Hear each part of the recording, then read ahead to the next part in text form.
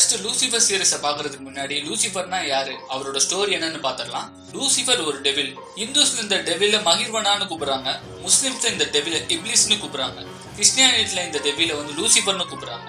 சரி இப்போ சேத்தான் angel devil எதுக்கு படைக்கப்பட்டான்னு பார்க்கலாம். இதெல்லாம் உங்களுக்கு ஏற்கனவே தெரியும். தெரிஞ்சாலும் திருப்பி ஒரு ஞாபகப்படுத்துறதுக்காண்டி சொல்றேன். அப்பதான் இந்த சீரீஸ் பார்த்தா இன்ட்ரெஸ்டிங்கா இருக்கும்.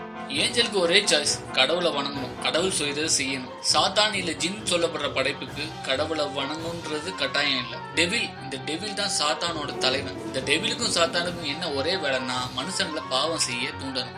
சரி இப்போ பைபிள்ல உள்ள லூசிஃபர் ஸ்டோரியை பத்தி பார்க்கலாம். இந்த ஏஞ்சல் தனக்கு கிடைச்ச அழகு அறிவு சக்தி அந்தஸ்து இதெல்லாம் கிடைச்சாலும் மேலும் பேராசைப்பட்டு கடவுள் மாதிரி புகழ் மகிமை கிடைக்கணும்னு ஆசைப்படுறான். இந்த கர்வம் தான் அவனோட அழிவுக்கு காரணமா இருக்கு. இதனால கடவுள் இவனை சபிக்கிறாங்க.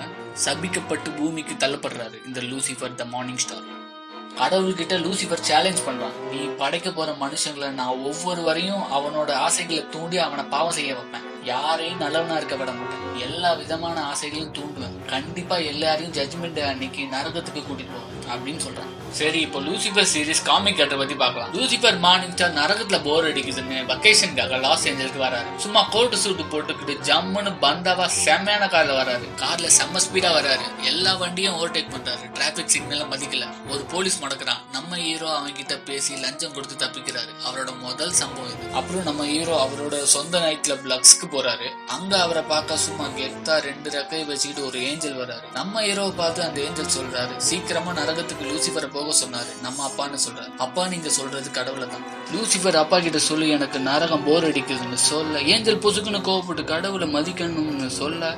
என்ன அவர் மதிக்கலன்னு பதிலுக்கு இவர் சொல்ல.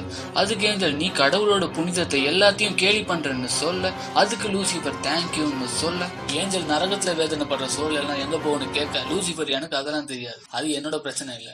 ஒரு famous pop star Lux night club வெளியே லூசிபரை பாக்குறாங்க. லூசிபர்கிட்ட சொல்றாங்க எனக்கு ஒரு சில விஷயம் தெரியணும். நான் ஃபேமஸாக என்னோட சோல் டெவில் ஆகிய உன்கிட்ட வித்துட்டானான்னு கேக்குறாங்க. அதுக்கு லூசிபர் அதெல்லாம் ஒன்றும் இல்ல. நான் தெரிஞ்சவங்கள உன்கிட்ட இன்ட்ரடியூஸ் பண்ணினேன். நீ ஃபேமஸ் ஆயிட்ட. அவ்வளவுதான்னு சொல்றாங்க பாப் ஸ்டார் சொல்றாங்க ஜிம்மி பேன்ஸை நீ எனக்கு இன்ட்ரடியூஸ் பண்ண. என்னோட ஆல்பம் அவர் ப்ரொடியூஸ் பண்ணாரு. கிராமி அவார்டில் அவர் என்ன பாத்ரூம் எடுத்தாரு. நாங்க ரெண்டு பேரும் ஒன்றா இருந்தோம். இப்போ அவர் சூப்பர் மாடல கல்யாணம் பண்ண போறான்னு சொல்லி வருத்தப்படுறாங்க. அப்படியே பேசிட்டே வெளியே வராங்க ரெண்டு பேரும். திடீர்னு கார்ல இருந்து வந்த ஒருத்தன் பாப் ஸ்டாரை ஷூட் பண்ணிடுறான். அவங்க அப்படியே கீழே வந்து செத்துறாங்க ஆனா நம்ம ஹீரோக்கு தான் எதுவுமே ஆகல. ஏன்னா அவர் தான் டெவிலாச்சு கார்ல இருந்து வந்த ஷூட் பண்ணவன் ஆக்சிடென்ட்ல செத்துறான் அவங்கிட்ட லூசிஃபர் அவர் வித்தையை காட்டி உண்மையை சொல்ல வைக்கிறாரு. அவன் காசுக்காக தான் கொண்டேன்னு சொல்றான்.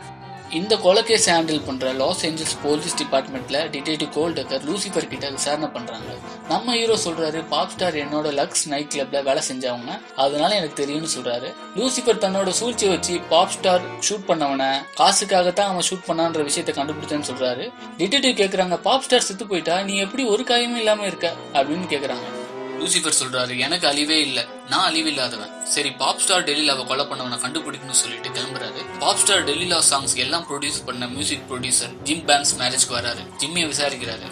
அவன் சொல்றான் அவன் பாய் ஃப்ரெண்ட் டுவெல் கிட்ட கேளு. ரெண்டு பேரும் தான் ஒன்னா இருக்காங்கன்னு சொல்றான். டுவெல விசாரிச்சா அவன் சொல்றான் நான் லவ் பண்ணது உண்மைதான்.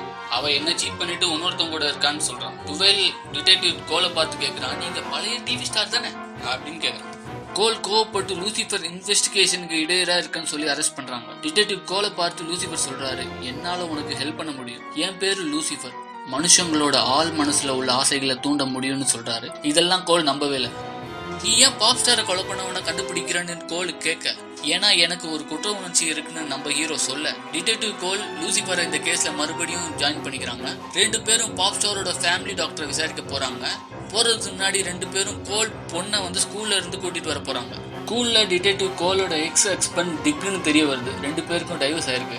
இப்போ டாக்டரை பார்க்கறதுக்கு போறாங்க. அவங்க கிட்ட விசாரிக்கிறாங்க. டாக்டர் கிளவி சொல்ல மாட்டுது. நம்ம ஹீரோ லூசிஃபர் அவரோட பவரை வச்சு டாக்டர் கிளவியை வசியம் பண்றாரு. உண்மையை சொல்ல வைக்கிறாரு. கிரே கூப்பர் தான் அந்த ஆளுன்னு சொல்றாங்க அவங்க. ரெண்டு பேரும் கிரே கூப்பரை பிடிக்க போறாங்க.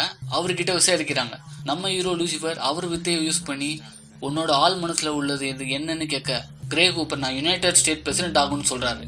கிரே கையில உள்ள வாட்சும் பாப் ஸ்டார் டெல்லில ஷூட் பண்ணவன் கையில உள்ள வாட்சும் சேம் ஆடுன்றதை நோட் பண்றாங்க டிடெக்டிவ் கோல். லூசிஃபரும் டிடெக்டிவ் கோலும் பாப் ஸ்டார் டெல்லிலா கேஸ் பத்தி பேச நைட்ல பூ போறாங்க. கோல் வாட்ச் பத்தி ஒரு முக்கியமான இன்ஃபர்மேஷன் சொல்றாங்க. ப்ரொடியூசர் ஜிம்மிக்கு பாப் ஸ்டார் டெல்லிலா ஒரு கிஃப்ட் பண்ணிருக்கா. அந்த கிஃப்ட் தான் அந்த வாட்ச் அந்த வாட்ச் ஷூட்டர் கிட்ட கொடுத்திருக்கான் ஜிம்மி. சோ ஜிம்மி தான் இந்த கொலை பண்ணிருக்கான்றத கண்டுபிடிக்கிறாங்க. ரெண்டு பேரும் ஜிம்மி அரெஸ்ட் பண்ண போறாங்க. ஜிம்மி கொலை பண்ணதை ஒத்துக்கிறான். பாப் ஸ்டார் டெல்லியில என்ன அசிங்கப்படுத்திட்டா அதனால கொண்டுட்டேன்னு சொல்றான். பயத்துல அவன் கிட்ட இருந்த கன் எடுக்கிறான். கோல் ஜிம்மியை ஷூட் பண்றாங்க. அவனும் பதிலுக்கு டேட்டு கோலை ஷூட் பண்றான்.